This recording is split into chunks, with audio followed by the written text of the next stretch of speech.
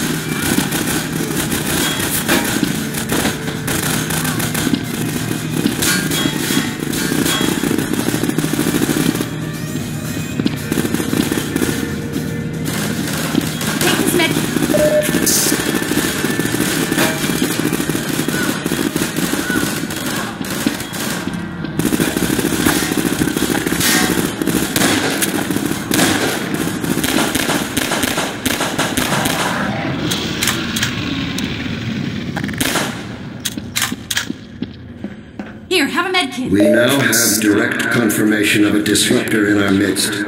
One who has acquired an almost messianic reputation in the minds of certain citizens.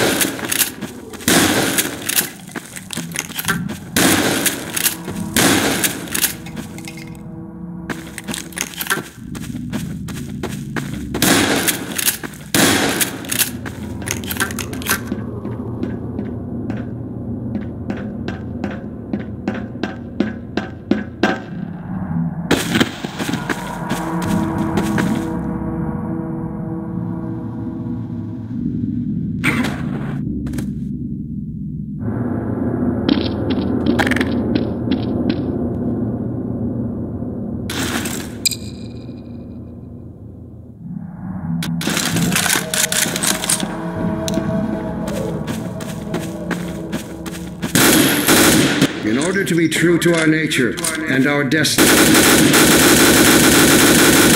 We have outgrown our cradle. It is futile to cry for mother's milk when our true sustenance awaits us among the stars.